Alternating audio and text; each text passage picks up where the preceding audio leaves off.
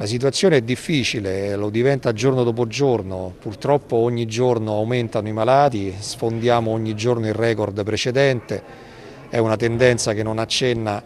ad arrestarsi, a diminuire e quindi questo ci chiama a mobilitare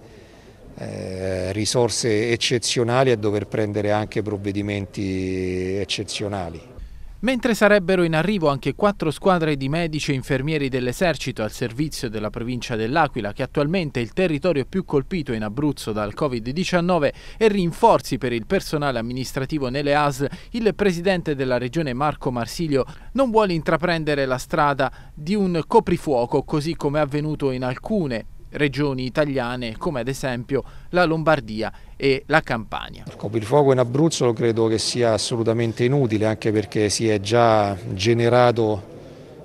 eh, sia per effetto del DPCM che ha chiuso i locali della Movida, diciamo, vieta dopo le 18 di stazionare fuori,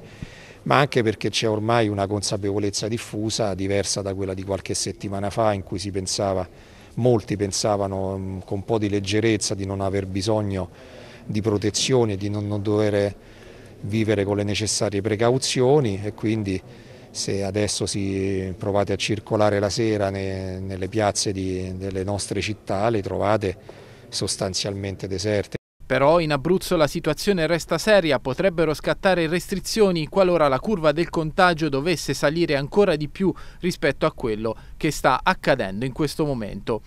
Fari puntati sulle scuole, il governatore vorrebbe che le lezioni venissero fatte con la didattica a distanza, anche se il Ministero più volte ha chiesto che le scuole restino aperte. Il pressing delle regioni dunque prosegue e anche Marsilio si iscrive tra i governatori che chiedono al governo di fare di più. Stiamo anche cercando di capire se da parte del governo ci sarà diciamo, un provvedimento riassuntivo sul, sul territorio nazionale che prenda atto di una situazione che si va ormai generalizzando alcune regioni sono arrivate prima di noi alla saturazione dei posti e hanno dovuto adottare provvedimenti molto restrittivi, addirittura qualcuna prefigura, non so se l'abbia già deciso, come la Sardegna, addirittura eh, un blocco, il lockdown tornare al lockdown generalizzato, eh, però eh, con questa tendenza nessuno viene risparmiato e quindi anche l'Abruzzo che ha resistito magari un po' più a lungo di altre alla fine i posti si vanno esaurendo, anche perché non ci è stata data la possibilità di realizzarli nei mesi scorsi, questo è un argomento che ho già sollevato e oggi dobbiamo fare i conti con